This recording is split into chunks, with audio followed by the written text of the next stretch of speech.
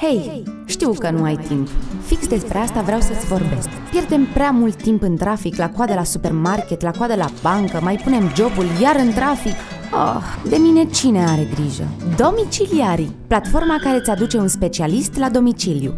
Nu mai pierde timpul. Cât ai fost la muncă, Lola a fost plimbată, casa a fost curățată, hainele călcate și acum prizele merg toate.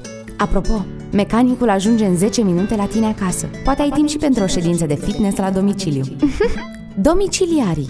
Mai mult timp liber pentru tine.